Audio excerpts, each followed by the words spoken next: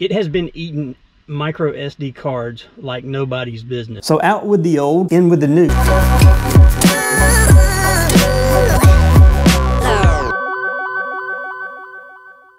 All right, party people, welcome back. Ooh, look at that, she clean. This was my dash cam for the longest time. This is the Z Edge dash cam. And a couple things I really liked about it at the time when I purchased this camera, it did a 1080p 60 frames per second, which is what I record all my videos in. So it was a good option for me. One of the things I really liked about this particular camera is it had the standard uh, quarter inch camera mount on it. Um, so you could actually uh, fit this camera to any standard camera mount that was quarter inch. You can go back and look in some of my YouTube videos. A lot of the footage that I take is uh, especially leading up to trailheads or in transition between uh, trailheads or campsites comes from this dash cam. It was decent quality. The thing I didn't like about it was that you know when you're loop recording or dash cam recording basically you're you're recording some footage and then you kind of overwrite it as time goes on um, you build up a lot of files and in order to find what's interesting you got to go through a lot of files and this camera doesn't have the ability to mark anything special. Um, so uh, basically I would have to come back and you know download all the footage and then kind of go through each file. And that was kind of a pain. I don't really have a lot bad to say about it. I, just don't know what's happened recently where it started to just render my micro SD cards unusable whatsoever. I can't even reformat them or anything. So out with the old and uh, in with the new. And so what we have here is a Vava dash cam that I purchased and for my use case there were a couple of requirements. First it had to do 1080p 60 frames and second it had to have the capability to mark interesting things so I wanted to step it up from the old camera and uh, and then also it needed to have good quality. And that was pretty much it. My use case, like I said, is basically um, capturing footage for these types of videos when I'm going to campsites, and doing uh, mountain bike rides, etc.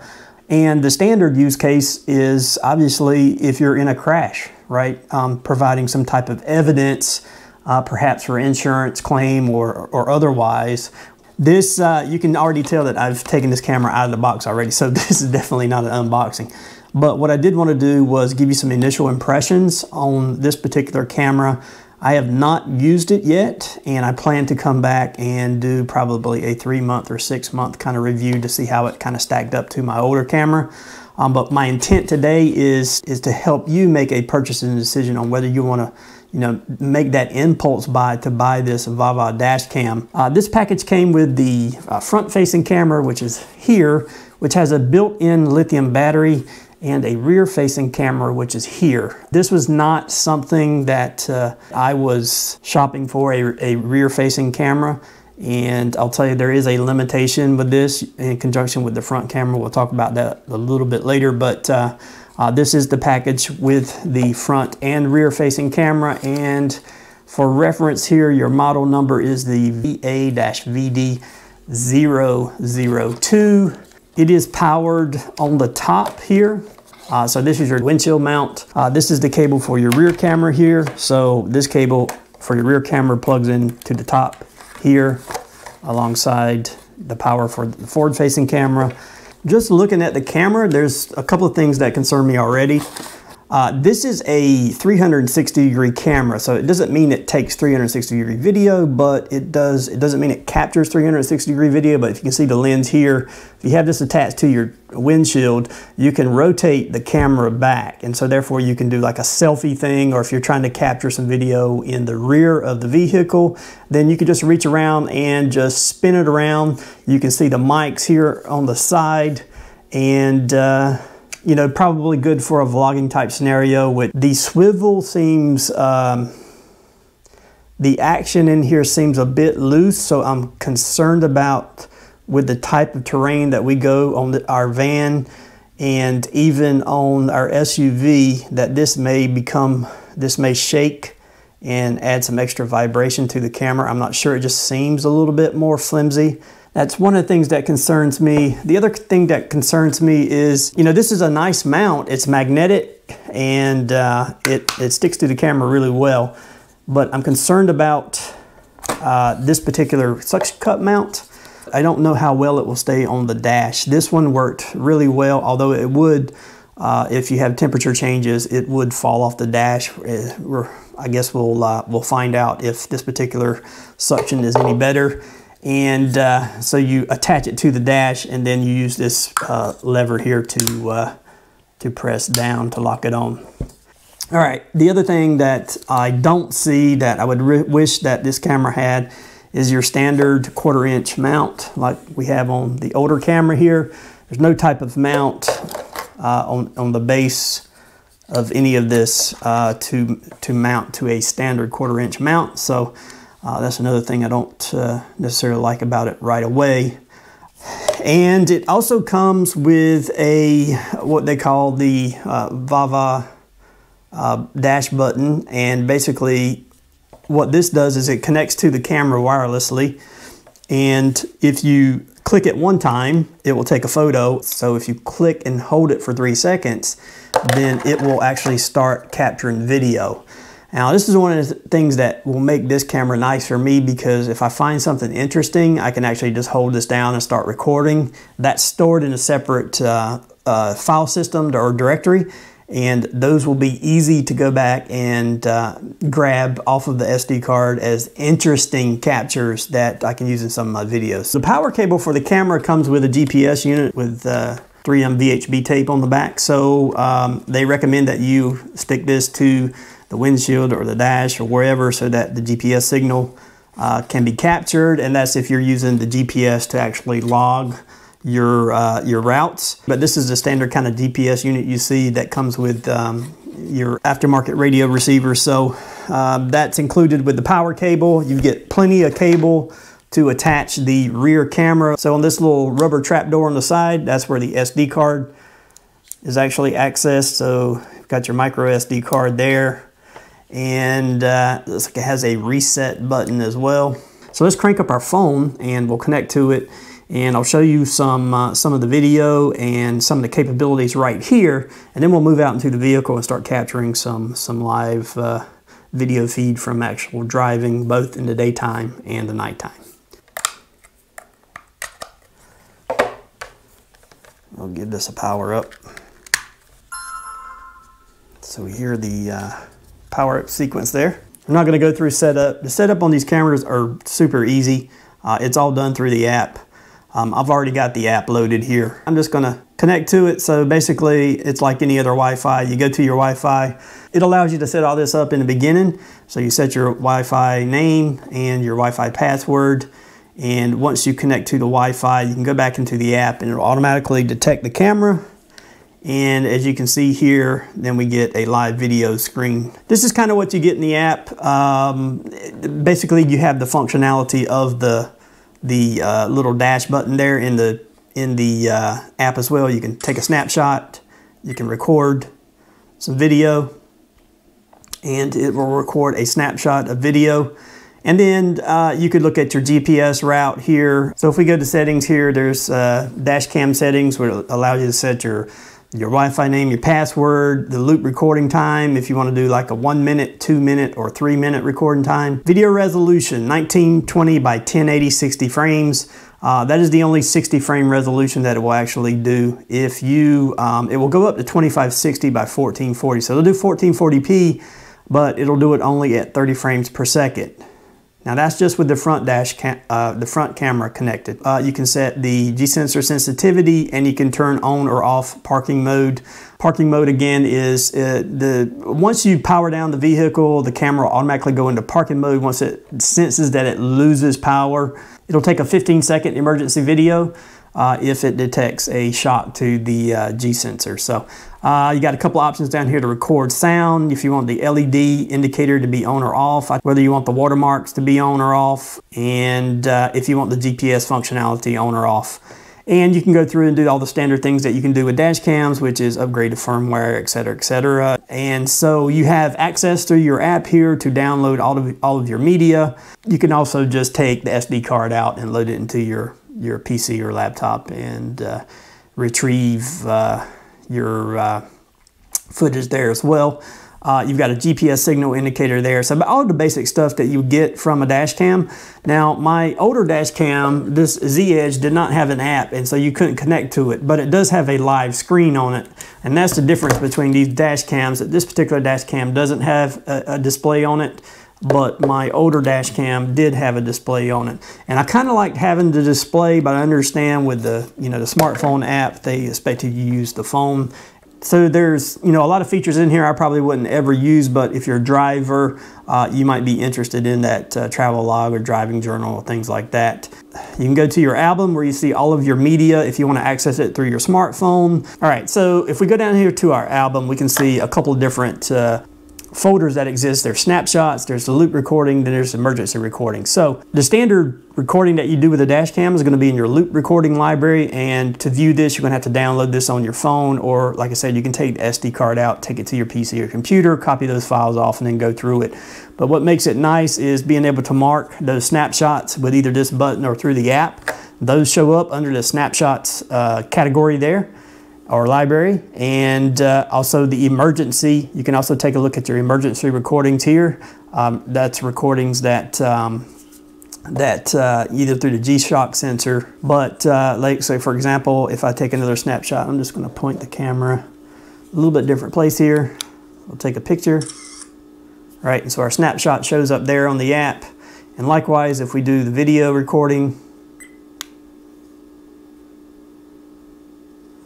right, it's going to take uh, some time for that to, uh, to record and we'll let it finish. And then there's our video that we just took. All right, so that's basically the app and uh, the front dash cam. Now I'm gonna go back and there's something I'm gonna do here. So we're gonna we're gonna plug in the rear facing dash cam and this is one of the limitations I think, you know, obviously I knew this before I purchased it because I did research, but um, if you're gonna think about purchasing this and you want to have a 60 frame front camera and a 60 frame rear facing camera, it's not possible, at least on this firmware. Uh, I don't even know if the hardware is actually um, powerful enough to do that and that's probably why it has that limitation but if we plug this reverse camera in here and it powers off of the main camera so we'll plug it in the top here and we'll go back in our settings here and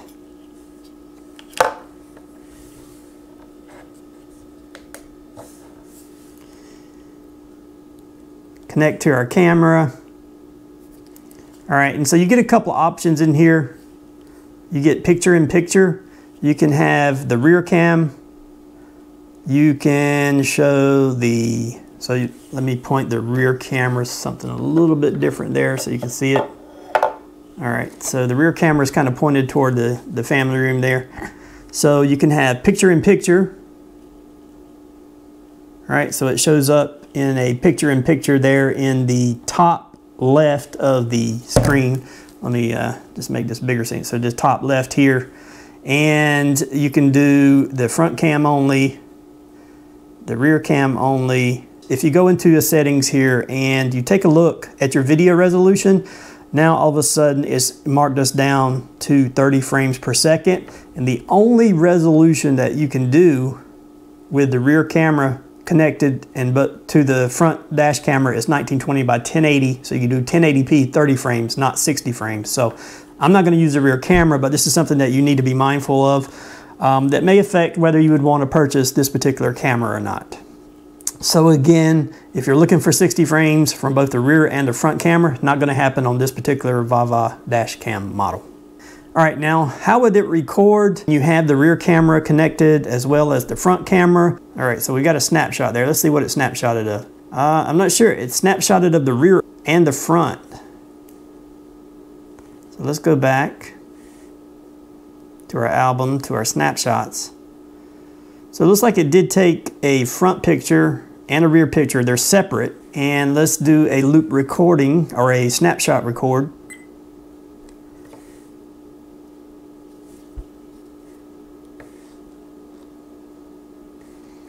So we'll wait for that to finish. All right, so that's completed. We'll go back to our album and then to our snapshots and we'll let it write. And so it does record individually uh, the rear camera and the front camera as well on the video. So although in the app you get a picture-in-picture -picture display, uh, in the actual recording you get two separate video files. All right, so you get your individual front video and you get your individual rear video. Just note that um, you're not going to get this picture-in-picture uh, video, um, picture-in-picture recording. Um, this is just a functionality of the app itself, and that's probably okay for dash cam stuff. You probably want the uh, the full, and then you could through editing, post processing, you can put it in uh, PIP if you want to. So, you know, initial impressions, the video quality seems pretty good. I did mention that this camera does have a small built-in battery, so um, it will do the parking uh, mode off of its own battery. All right, so now I'm gonna go take the dash cam out to the van and I'm not gonna do the rear dash camera because um, that's the 30 frames is just a non-starter for me. So I will take the front uh, camera out to the van and we'll go right around and take some video. And then we'll take it back out when it gets darker. All right, here, let's go. Connect to our camera. All right, there we go. So that's about straightforward right there. This tool here, see if we can capture his license plate. It says DTLR with a SA. And we'll back off here All right, we've got this car that's close to the front of us. We'll take another snapshot.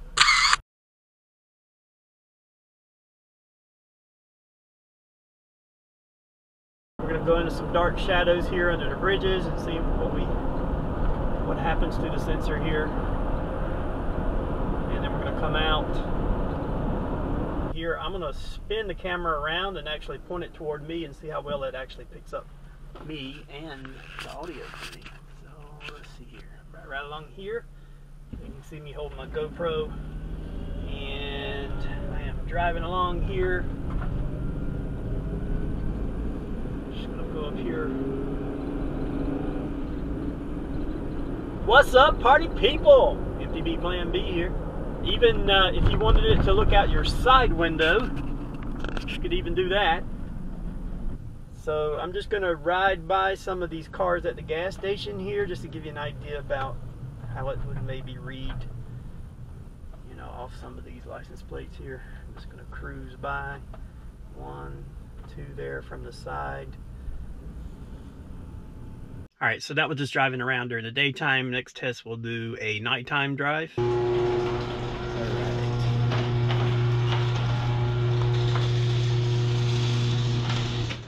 It is officially dark outside.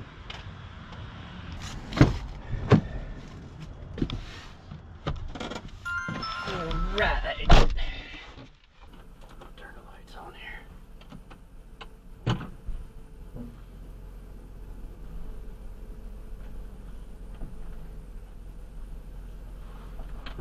Alright, cars ahead of us here. We're going to be stopped at the light, so uh, probably 10 feet behind. I'm just going to snap a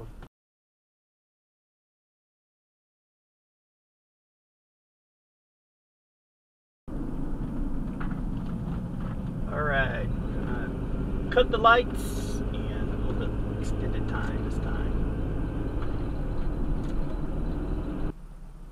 Okay. Alright, so you should be able to see a bit of me. Um, some of that uh, ambient light coming in from the outside. Let's make sure we're being safe here. Let's pull out. Alright, so you can see I am holding the GoPro camera in one hand. Uh, you should be able to see out the window there a little bit. You can see the passenger side over this way. Left. A couple there, three.